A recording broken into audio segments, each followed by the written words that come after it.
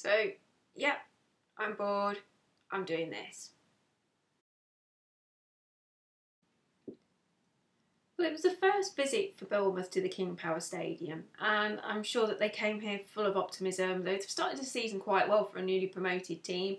They were sitting in ninth place before the game, and they'd also got a decent result against some team up the road the week before. Um, so I, I, think for myself, I, I was expecting a potential banana skin because being a typical City fan, we, we we don't make things easy for ourselves, and yet again we didn't make things easy for ourselves. Um, but we won, and that was the important thing. And it was a decent 2 1 result again, which is becoming our favourite score. It's not the best one for the blood pressure or, or, or the heart. Um, it does leave you kind of thinking, well, what are we doing?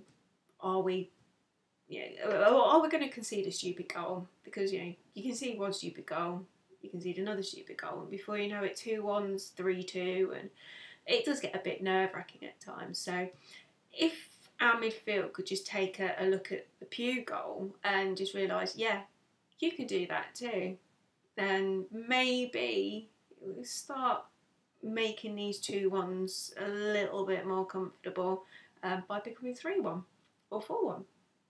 Maybe even 5 1, who knows?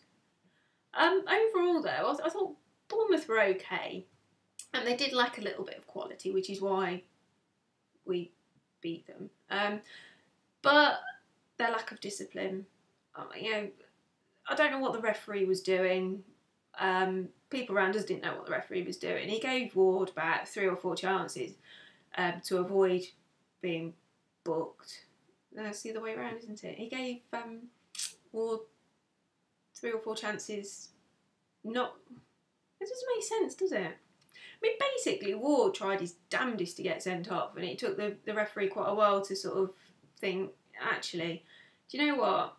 Uh, you know, he might as well just go. He's, he's clearly, you know, probably get on Twitter or something. I, I don't know. I don't know. But whatever it was, Elliott Ward didn't want to be on the pitch, so he went and um, yeah, it, it I'd like to think that helped, but um, at the end of the day, I'm, I'm, I think we were just the better team and deserved the victory.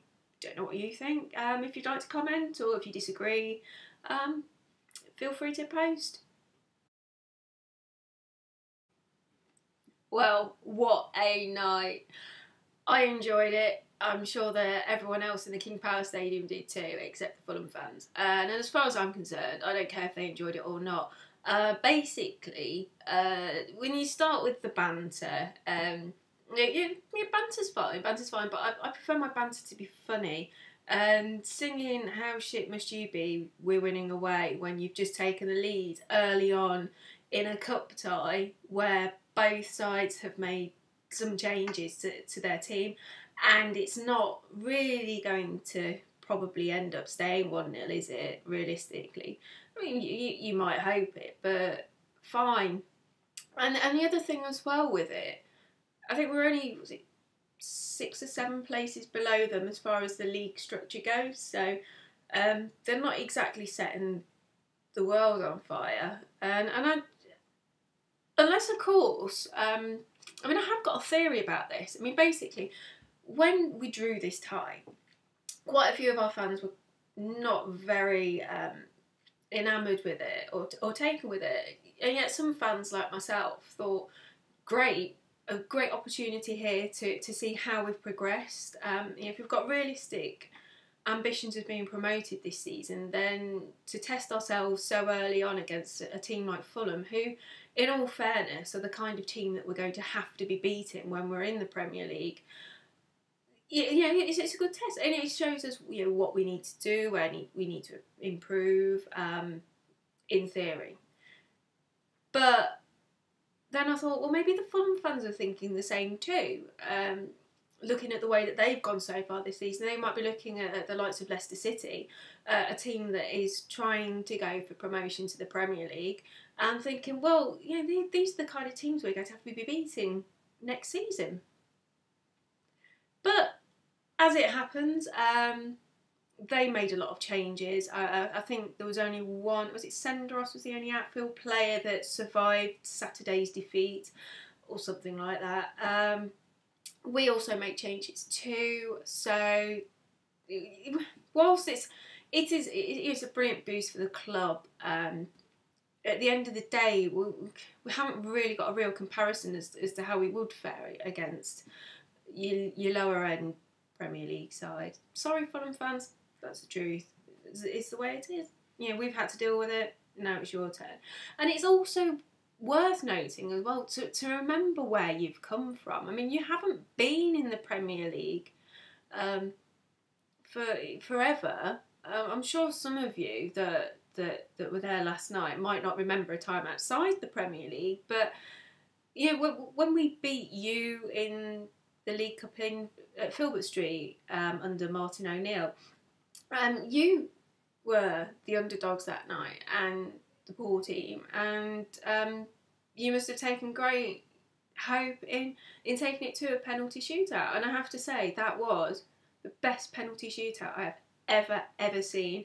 Um, if if Leicester City could go to another penalty shootout like that uh, again, brilliant. In fact, I'd like them all to be like that. Um, but uh, don't mention penalty. Not not again. So yeah, it was a good cup tie. It was it was um, pretty much end to end stuff, kind of.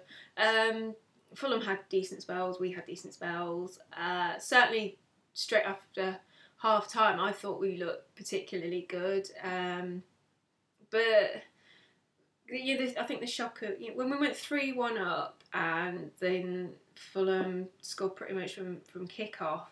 Um, I would like to think that was really a, a lack of concentration because I, I, thought we we dealt well after that, and um, yeah, so it, it, was a great great cup tie, great victory, um, one that, that hopefully we'll see us rewarded in, in the next round with a, with a decent draw.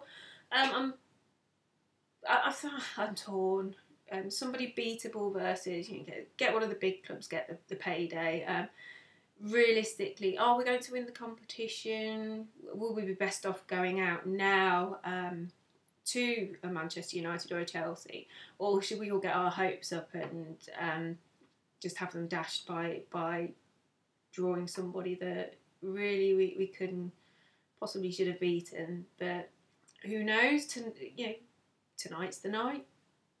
Who knows what's going to happen? But um, yeah, I just had this thought though during the game. Martin Jol is a bit of a strange one, I, I, but I don't know why. He, he, always strikes me as somebody that ought to be a contestant on Come Dine with Me. You, you can see it now. Um, Martin Jol, uh, it'd be one of those bonkers. Get him with Ian Holloway. My God, you need an Alan Shearer in there just to tone it down a bit and, and try and make it normal. That's how wacky and bizarre the, the night would be. Um, so, yeah, those are my thoughts.